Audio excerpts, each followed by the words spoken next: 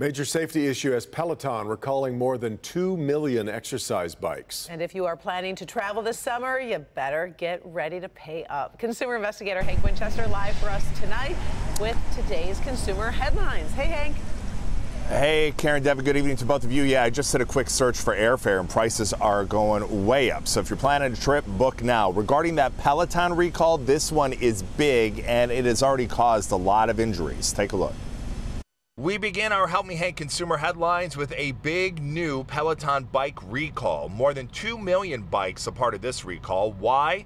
The bike seat post can break. Several people have been injured from falls. You should contact Peloton and you can request a free repair. Summer travel prices are soaring. Hotel prices expected to be up at least 25%. Airfare up 15 to 30%, even higher if you're flying internationally. There are select deals, though, on websites like Priceline, Orbitz, and Expedia. And a tax scam you need to be aware of filers getting text messages. Scammers allegedly saying that the taxes were filed improperly. They're asking for your personal information to verify. You should contact the IRS directly. And you should also know the IRS does not communicate with filers via text.